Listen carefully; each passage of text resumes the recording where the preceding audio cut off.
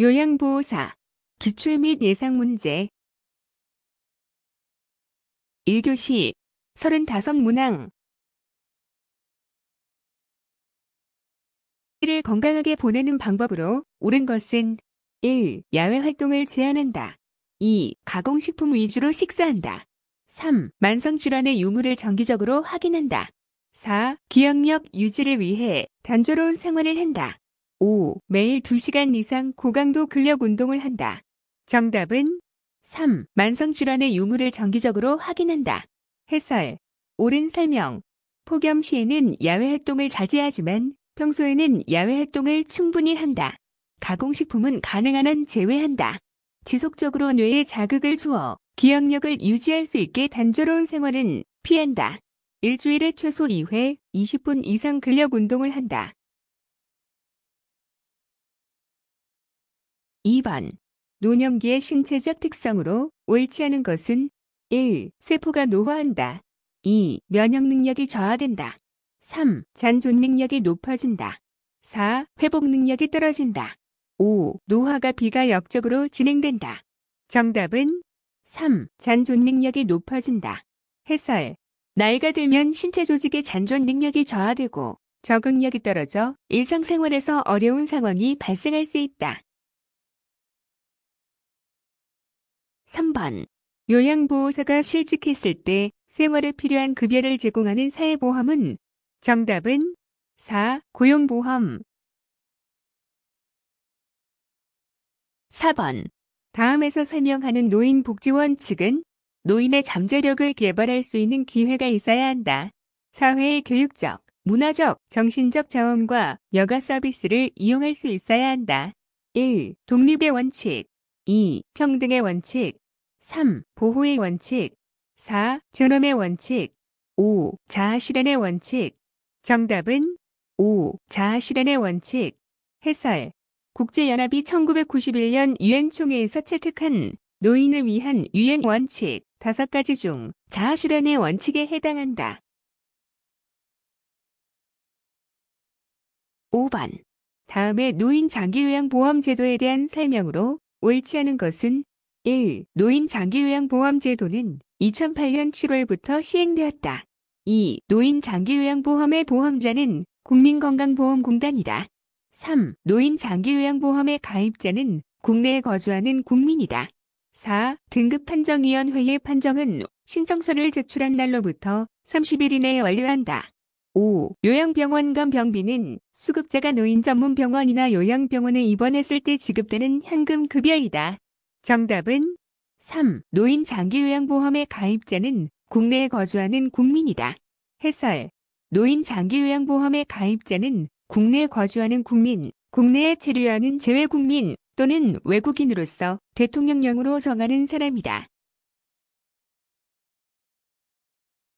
6번 등급판정위원회의 심의 결과 노인 장기요양보험 급여 대상자는 1. 백내장 수술을 한 65세 남자 2. 폐렴약을 복용 중인 50세 여자 3. 결핵으로 병원에 입원 중인 60세 남자 4. 혈관성 치매로 일상생활이 어려운 50세 여자 5. 발목이 골절되어 치료를 받고 있는 60세 남자 정답은 4. 혈관성 치매로 일상생활이 어려운 50세 여자.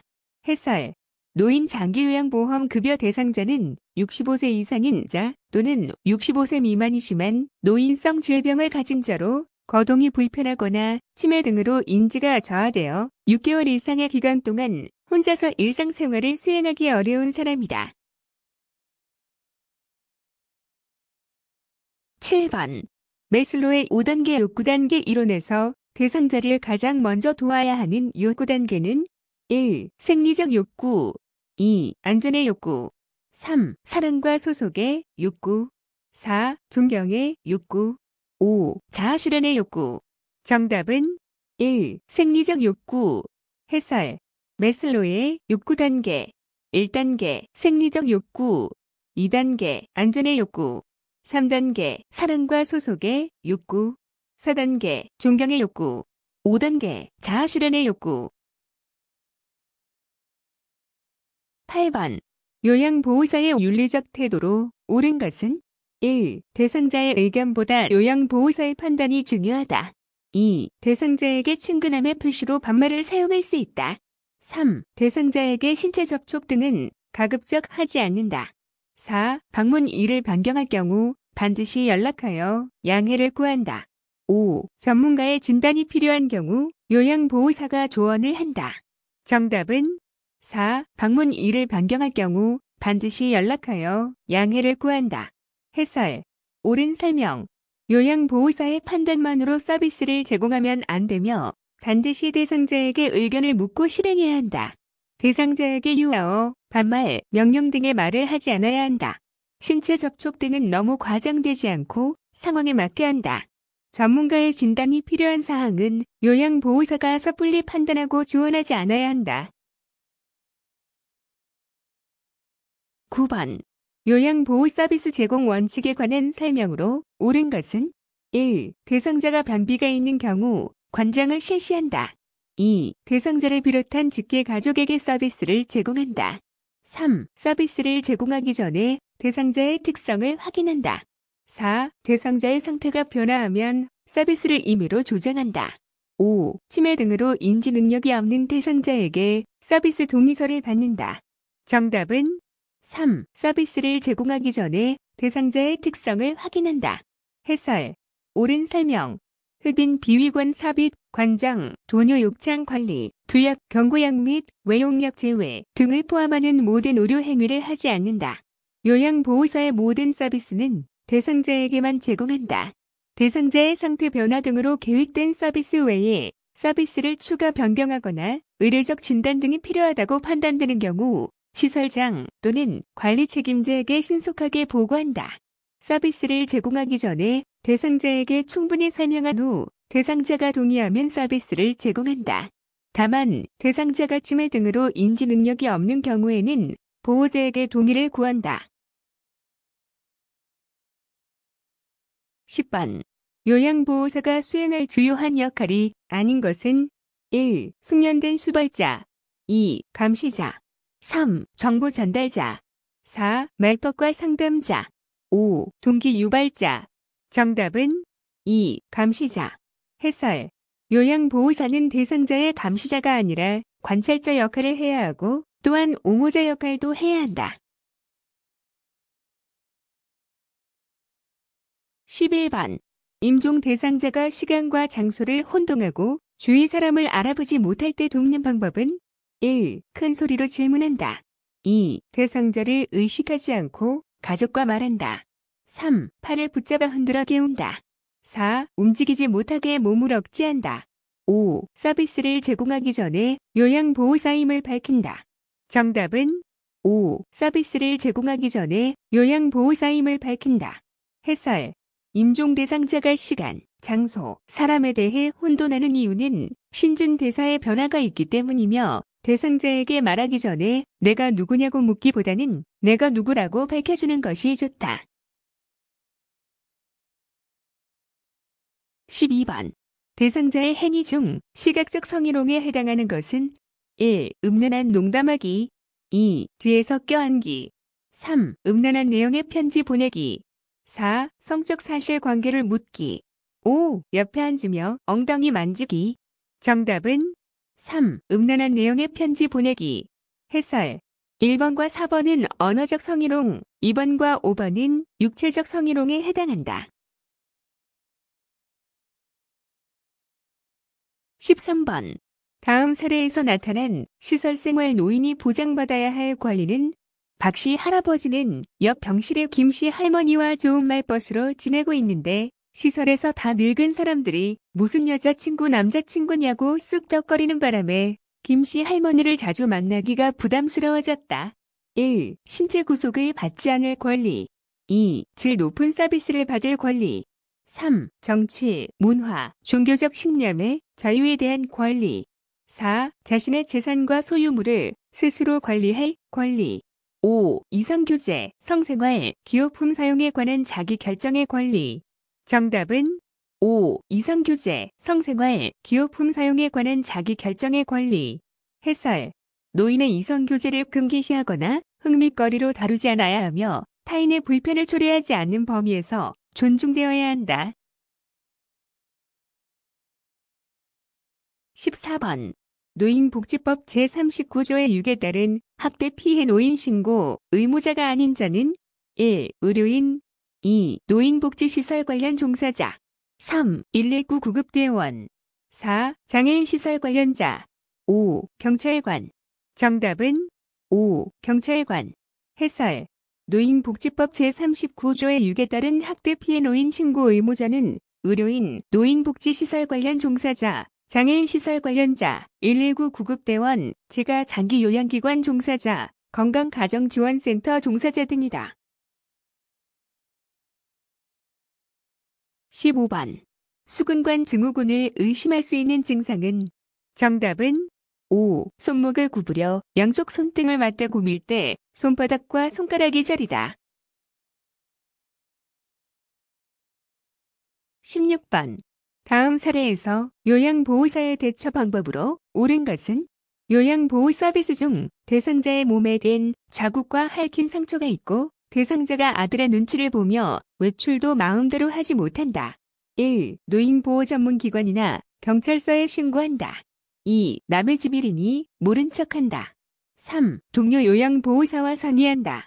4. 그 아들과 얘기를 나눈다. 5. 다른 가족에게 알린다.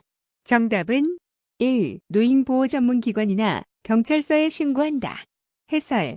요양보호사는 학대받는 노인을 보면 노인보호 전문기관이나 경찰서에 신고해야 한다. 신고하지 않으면 500만원 이하의 과태료가 부과된다.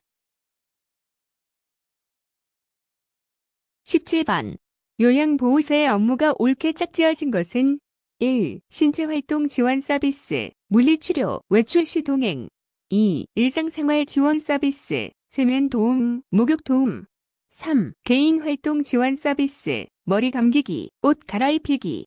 4. 정서 지원 서비스, 말벗, 격려, 위로, 생활 상담. 5. 시설환경 관리 서비스, 이동 도움, 화장실 이용 돕기. 정답은 4. 정서 지원 서비스, 말벗, 격려, 위로, 생활 상담. 해설. 신체 활동 지원 서비스, 세면 도움, 구강 관리, 머리 감기기, 몸 단장, 옷 갈아입히기, 목욕 도움, 식사 도움, 체위 변경, 이동 도움 등 일상생활 지원 서비스, 취사, 청소 및 주변 정돈, 세탁, 개인 활동 지원 서비스, 외출 시 동행, 일상 업무 대행, 시설 환경 관리 서비스, 침구 교환 및 정리, 환경 관리, 물품 관리, 세탁물 관리,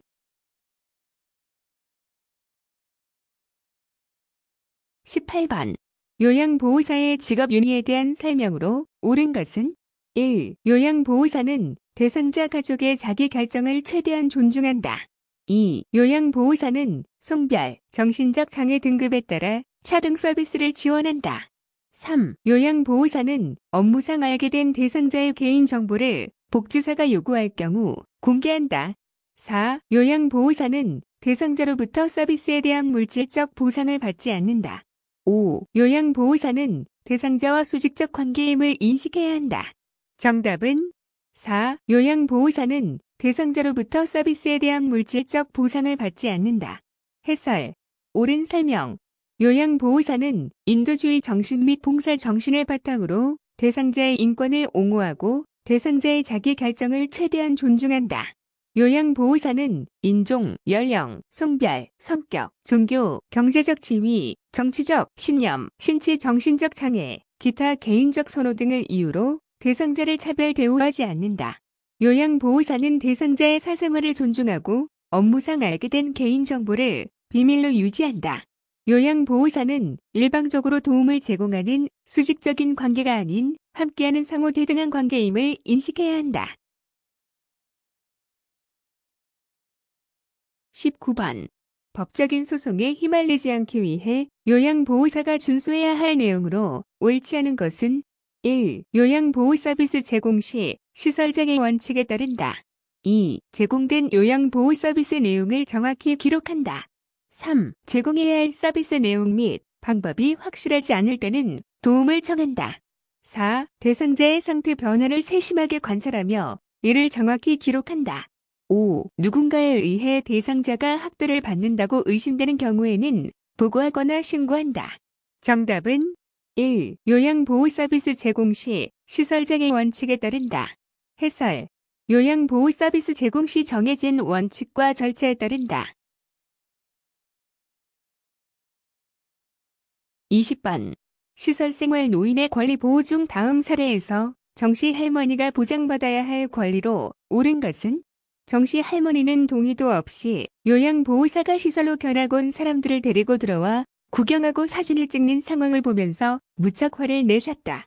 1. 존엄한 존재로 대우받을 권리 2. 사생활과 비밀 보장에 관한 권리 3. 안락하고 안전한 생활 환경을 제공받을 권리 4. 개별에 대한 서비스를 제공받고 선택할 권리 5. 차별 및 노인 학대를 받지 않을 권리 정답은 2. 사생활과 비밀 보장에 관한 권리 해설 사생활과 비밀 보장에 관한 권리 개인 정보를 수집하고 활용하기 전에 그 목적을 충분히 설명하고 동의를 구하며 사전 동의 없이 그 정보를 공개해서는 안 된다. 입소 상담 및 직무 수행 과정에서 얻은 정보에 관한 비밀을 당사자의 허락 없이 타인에게 노출해서는 안 된다. 21번 요양보호 서비스 유형별 대처 방안 중 옳지 않은 것은 1. 세면 자체를 거부할 때는 거부감 없는 다른 방법을 강구한다. 2. 식사를 거부할 때에는 환경의 변화를 주는 등 다양한 방법을 강구한다. 3. 기저귀 교환을 거부할 때는 통증, 발진, 관절 상태 등을 관찰한다. 4. 변비인 대상자가 관장을 해달라고 할 때 조심스럽게 관장을 실시한다. 5. 누운 상태로 식사를 하려고 할 때는 질식 등의 문제가 일어날 수 있음을 설명한다. 정답은 4. 변비인 대상자가 관장을 해달라고 할 때 조심스럽게 관장을 실시한다. 해설. 관장은 요양보호사의 업무가 아님을 대상자에게 설명하고 의료행위에 해당되므로 의료진과 상의한다. 22번. 노인학대 행위자에 대한 상담 및 교육과 학대받은 노인의 발견, 상담, 보호를 담당하는 기관은 정답은 3. 노인보호 전문기관 23번 요양보호사가 대상자로부터 감염될 수 있는 질환이 아닌 것은 1. 결핵 2. 노로바이러스 장염 3. 옴 4. 독감 5. 대상포진 정답은 5. 대상포진 해설 요양보호사는 감염성 질환을 앓고 있는 대상자와 직접 접촉하거나 감염력이 있는 물질에 접촉할 가능성이 많기 때문에 다양한 직업성 감염 질환에 걸리기 쉽다. 그 예로는 결핵, 노로바이러스 장염, 옴, 독감, 인플루엔자, 머릿니로 인한 가려움 등이 있다. 24번 노인성 질환의 특성에 대한 설명으로 옳은 것은 1. 단독으로 발생하는 경우가 많다. 2. 증상이 뚜렷하여 정상적인 노화 과정과 구분하기 쉽다. 3. 경과가 짧고 재발이 드물며 합병증이 잘 생기지 않는다. 4. 신장 기능이 저하되어 수분과 전해질의 균형이 깨지기 쉽다. 5. 젊은 사람보다 약물에 덜 민감하게 반응한다. 정답은 4. 신장 기능이 저하되어 수분과 전해질의 균형이 깨지기 쉽다. 해설 옳은 설명. 노인성 질환은 단독으로 발생하는 경우는 드물고 하나의 질병에 걸리면 다른 질병을 동반하기 쉽다. 노인성 질환은 증상이 거의 없거나 애매하여 정상적인 노화 과정과 구분하기 어렵다. 노인성 질환은 경과가 길고 재발이 빈번하며 합병증이 생기기 쉽다. 노인은 젊은 사람보다 약물에 민감하게 반응하기 때문에 약물을 사용할 때 더욱 신중해야 한다. 25번. 뇌졸중의 전구 증상이 아닌 것은 1. 한쪽 팔다리가 마비되거나 감각이 이상하다. 2. 말할 때 발음이 분명하지 않거나 말을 잘 못한다. 3. 주위가 뱅뱅 도는 것처럼 어지럽다. 4. 갑자기 벼락치듯 심한 두통이 온다. 5. 무표정하고 몸통이 앞으로 굽혀진다. 정답은 5. 무표정하고 몸통이 앞으로 굽혀진다. 해설. 5번은 파킨슨 질환의 주요 증상이다. 26번. 우울증 발생 가능성이 높은 대상자의 상황은 1. 가족과 함께 거주한다. 2. 낮에 햇빛을 쐬며 운동을 한다. 3. 최근 갑상샘, 기능저하증을 진단받았다. 4. 경로당 프로그램에 적극적으로 참여한다. 5. 식욕과 체중이 변화 없이 유지되고 있다. 정답은 3. 최근 갑상샘, 기능저하증을 진단받았다. 해설. 우울증 관련 요인. 치매 또는 유전적 요인. 뇌의 신경 전달 물질의 변화. 질병, 수술 등의 신체적 원인. 발견되지 않은 외경색 혹은 뇌혈관 질환. 노화에 따른 스트레스에 대한 저항력 감소. 갑상샘, 부신피질 미알 수체 등에서 분비되는 호르몬의 변화 등 27번. 다음 증상으로 알 수 있는 질환은 소변을 보고 나서도 시원하지 않다. 소변이 마려울 때 참기 힘들다. 소변 줄기가 가늘어지고 힘을 주어야 나온다. 1. 전립선 비대증 2. 복압성 요실금 3. 잘박성 요실금 4. 방광염 5. 만성 심부전증 정답은 1. 전립선 비대증 해설 전립선 비대증의 증상 비대된 전립선의 요도를 눌러 요도가 좁아짐으로써 소변 줄기가 가늘어진다. 소변을 보고도 시원하지 않은 잔요감이 있다. 소변을 눌 때 힘을 주어야 소변이 나온다. 소변이 자주 마렵고 소변을 참기 힘들다. 28번 대상자가 혼수 상태일 경우 마지막까지 남아있는 감각은 1. 미각 2. 촉각 3. 후각 4. 청각 5. 시각 정답은 4. 청각 해설 대상자가 혼수 상태일 경우 청각은 마지막까지 남아있으므로 평상시와 같다고 생각하면서 요양 보호를 제공하여야 한다. 29번 대상자를 만질 때 옳은 방법은 1. 대상자의 피부와 좁은 면적이 닿게 만져야 한다. 2. 붙잡고 천천히 위에서부터 받쳐 힘을 주어 만진다. 3. 손바닥 전체가 아니라 손끝을 이용해 접촉한다. 4. 인지 자극을 위해서는 손, 얼굴을 만지는 것이 효과적이다. 5. 대상자가 놀랄 수 있으므로 손가락으로 잡는다. 정답은 4. 인지 자극을 위해서는 손, 얼굴을 만지는 것이 효과적이다. 해설. 옳은 방법. 대상자의 피부를 넓게 잡으면 대상자의 피부에 가해주는 압력이 낮아져서 좋다. 붙잡지 않고 천천히 밑에서부터 받쳐 살짝 힘을 주는 것이 좋다. 손끝이 아니라 손바닥 전체를 이용해 접촉한다. 손가락으로 잡으면 힘이 많이 들어가 억압하는 느낌이 있어 좋지 않다.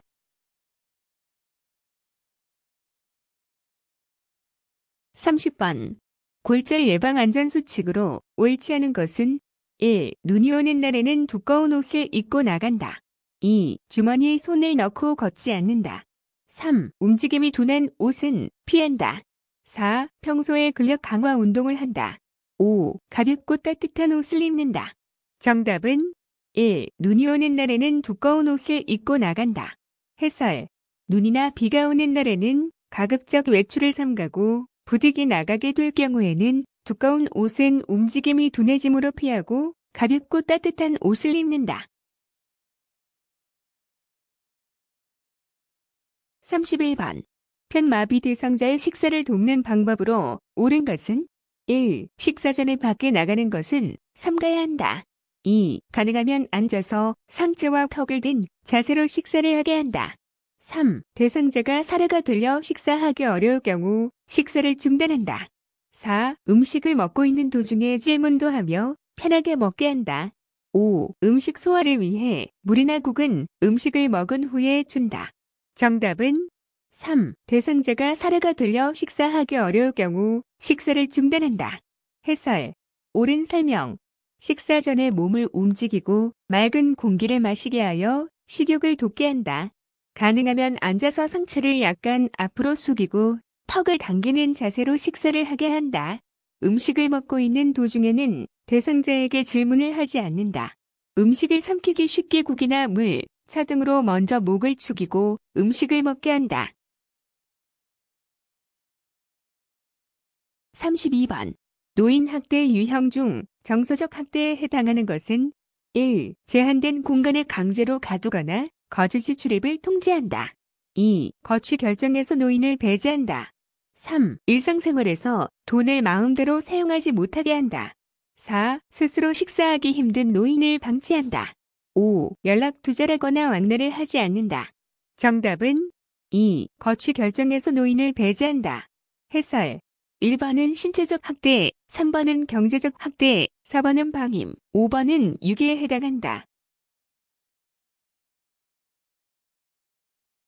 33번 요양보호 업무 보고의 기본 원칙은 1. 내용이 중복되지 않도록 간결하게 보고한다. 2. 요양보호사가 느낀 점을 요약하여 전달한다. 3. 추가 서비스를 제공한 경우 보고를 생략한다. 4. 일주일 단위로 핵심 내용을 보고한다. 5. 응급 상황 시 사고의 원인을 분석한 후 보고한다. 정답은 1. 내용이 중복되지 않도록 간결하게 보고한다. 해설. 옳은 설명. 보고 시 생각이 들었다. 느꼈다 등의 표현은 피한다. 계획된 서비스 외에 추가적인 서비스가 필요하거나 서비스를 변경할 때는 관리 책임자에게 보고한다. 요양보호사는 정기보고 및 수시보고를 해야 한다. 상황이 급한 경우에는 반드시 구두보고를 먼저 한 후 서면 보고를 한다.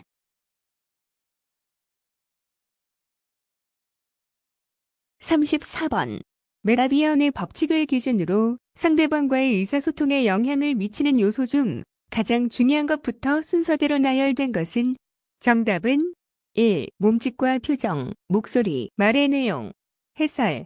메라비언의 법칙은 심리학자인 엘버트 메라비언이 발표한 이론으로 상대방에 대한 인상이나 호감을 결정하는 데 있어서 몸짓과 표정, 보드랭귀지, 목소리, 말의 내용 순으로 작용한다는 법칙이다. 35번 요양보호 기록의 종류 중 요양보호사가 기록할 수 있는 것은 1. 상태 기록지 2. 사례 회의록 3. 상담일지 4. 방문일지 5. 간호일지 정답은 1. 상태 기록지 해설 요양보호 기록 요양보호사 기록 장기 요양급여 제공 기록지 상태 기록지 사고 보고서 인수인계서 타 전문직 기록 상담일지, 욕구사정, 급여 제공 계획서, 장기 요양급여 제공 기록지, 상태기록지 사고보고서, 방문일지, 사례회의록, 인수인계서, 간호일지 수고하셨습니다. 스터디오는 당신의 합격을 응원합니다.